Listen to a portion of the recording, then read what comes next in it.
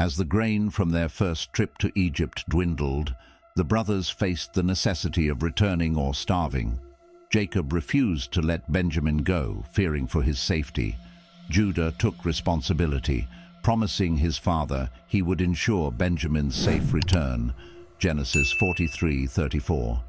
They journeyed to Egypt with gifts for the viceroy, balm, honey, spices, nuts and almonds, along with payment for their previous grain purchase. Upon arrival, they were welcomed into the viceroy's home, much to their surprise. When they discovered their money had mysteriously been returned, they feared being accused of theft. However, the steward reassured them and released Simeon, bringing relief. Genesis 43. Upon his return, Joseph's heart filled with emotion upon seeing Benjamin. He wept privately before returning to his guests. The brothers were seated according to age. Joseph and his Egyptian retinue dined separately, for eating with Hebrews was considered an abomination to them. Joseph sent portions of food to his brothers, Benjamin's being five times larger, and they celebrated together. Genesis 43:34. The next morning, the brothers joyfully began their journey home but they were soon intercepted by Joseph's steward, who accused them of stealing his master's silver cup, Genesis 44:5. Confident in their innocence, they agreed that if found guilty, the culprit would become a slave. The cup was discovered in Benjamin's sack, leaving them stunned. They returned to Joseph, offering themselves as slaves to remain with Benjamin. Judah pleaded with Joseph, recounting how difficult it was to convince Jacob to let Benjamin come and how his father's life was bound to the boys.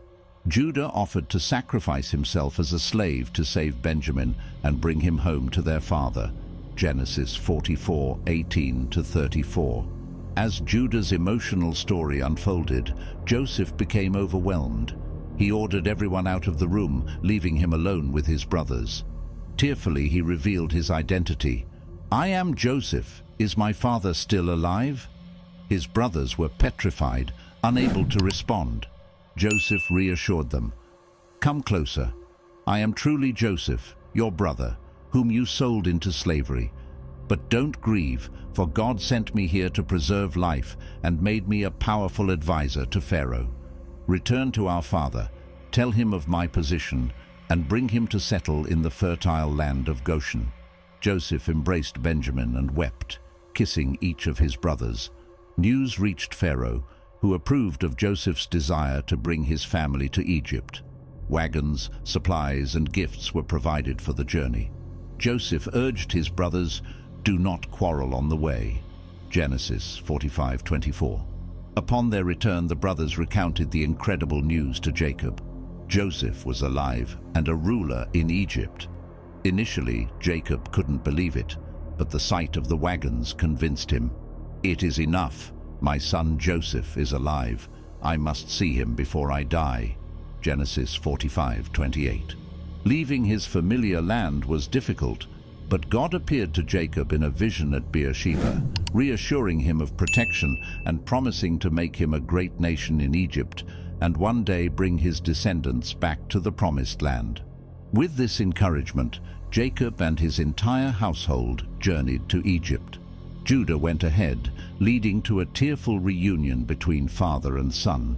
When introduced to Pharaoh, Jacob's brothers identified themselves as shepherds seeking refuge in Goshen.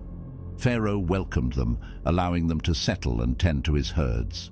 Jacob also had an audience with Pharaoh, blessing the monarch. Genesis 47, 1-10. Jacob lived in Egypt for 17 years, reaching the age of 147, Psalm 105:23. As his death approached, Joseph brought his sons, Ephraim and Manasseh, to Jacob for a blessing. Though Manasseh was the elder, Jacob knowingly placed his right hand, the symbol of greater blessing, on Ephraim's head. Joseph was displeased, but Jacob insisted. Both sons would lead great tribes, but Ephraim would surpass his brother. Jacob also bestowed a special inheritance upon Joseph, land conquered from the Amorites, presumably near Shechem, Genesis 48:22, Joshua 17:14. As Jacob's life neared its end, he summoned his sons, desiring to impart prophetic visions of their future. He began with Reuben, his firstborn, who due to his instability was denied the birthright of leadership and a double inheritance. Simeon and Levi, brothers in cruelty during the Shechem incident, were cursed to be divided and scattered among the tribes of Israel. Then came Judah, who would gain a portion of the firstborn's blessing, leadership and prominence among the tribes. His lineage would hold the scepter and authority until the coming of Shiloh, the peacemaker, Genesis 49, 1-10. After blessing his sons and predicting their future, Jacob again instructed them to bury him in the promised land, in the family tomb of Machpelah. Upon his death, Joseph had his father's body embalmed according to Egyptian custom. Pharaoh granted permission for a grand funeral procession, including his family, Pharaoh's court and chariots. Instead of taking the direct route, they traveled a longer eastern path. For seven days they mourned at the threshing floor of Atad, their sorrow impressing the Canaanites, who named the place Abel Mizraim, Genesis 50, 1-13. Only Jacob's sons proceeded to Machpelah for the burial. After the funeral, Joseph's brothers feared his revenge.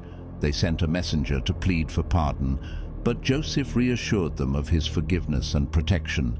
They lived peacefully in Goshen, and Joseph lived long enough to see his great-grandchildren. Before his death at 110 years old, he once again reminded his brothers of God's promise to lead them to the land of their ancestors.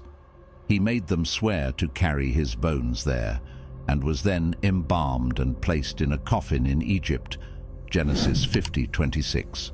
Hey everyone, thanks so much for joining me on this journey, and it's been great exploring its meaning with you. If you enjoyed this, be sure to hit that like button and let me know your thoughts in the comments below. And for more engaging content like this, consider subscribing to the channel. Until next time, Stay blessed and keep learning.